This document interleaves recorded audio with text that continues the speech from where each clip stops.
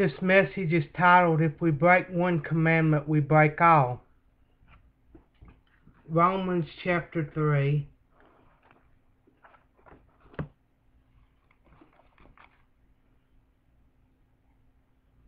Verse 23.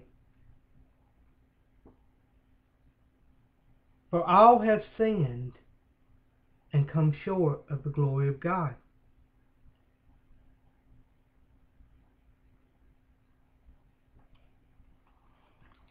First John.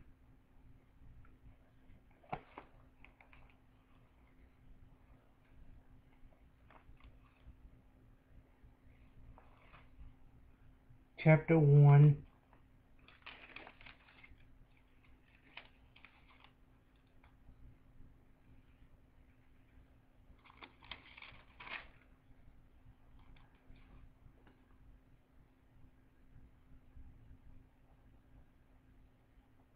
starting at verse 8.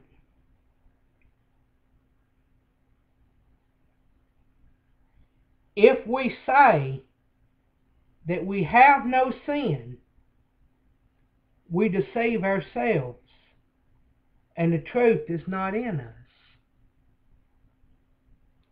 If we confess our sins, he is faithful and just to forgive us our sins and to cleanse us from all unrighteousness.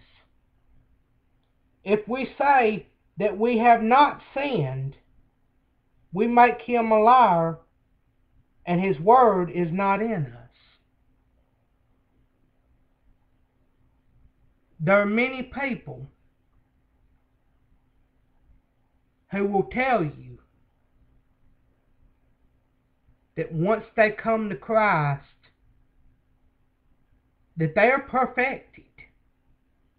That is a lie. James chapter 2. They hinder a lot of people by saying that too.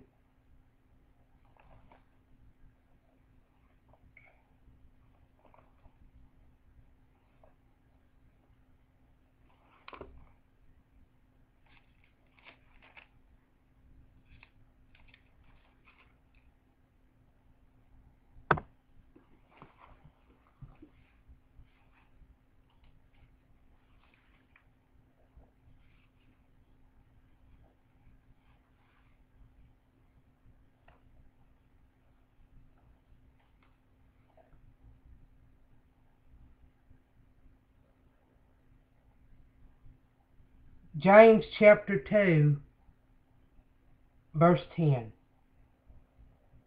For whosoever shall keep the whole law, and yet offend in one point, he is guilty of all.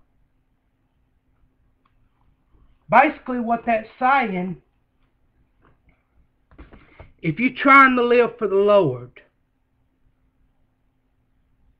and you mess up, it's just like you broke all Ten Commandments. Now, I'm not saying don't try to live for the Lord because we must strive for perfection.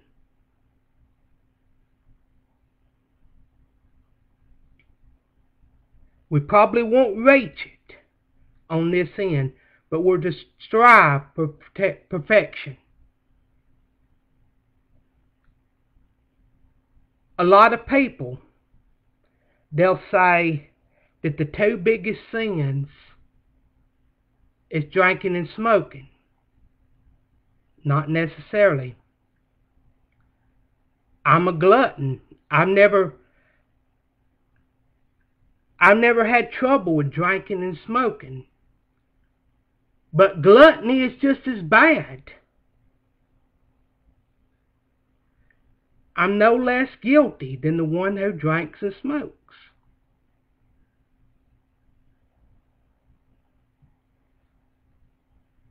Jesus told of a parable about a man who was robbed.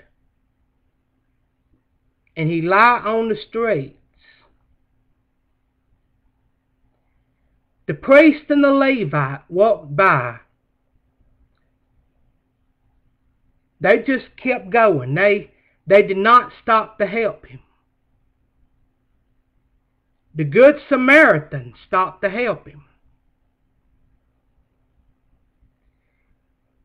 You know what most people in the church would do if they seen that man laying in the street? They would pick up the phone and they'd be like, you know, I seen so and so. I don't know what kind of drug they was on, but they was messed up.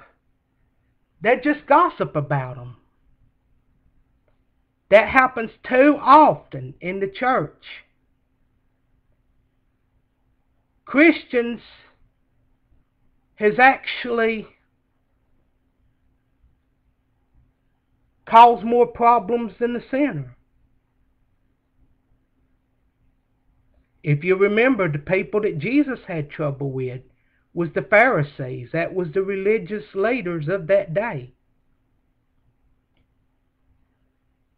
And people wonder why people don't like to come to church. That's why.